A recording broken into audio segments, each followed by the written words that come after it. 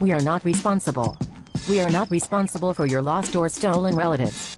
We cannot guarantee your safety if you disobey our instructions. We do not endorse the causes or claims of people begging for handouts.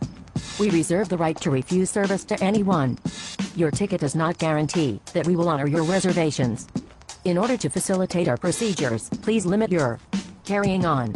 Before taking off, please extinguish all smoldering resentments. If you cannot understand English, you will be moved out of the way. In the event of a loss, you better look out for yourself. Your insurance was cancelled because we can no longer handle your frightful claims.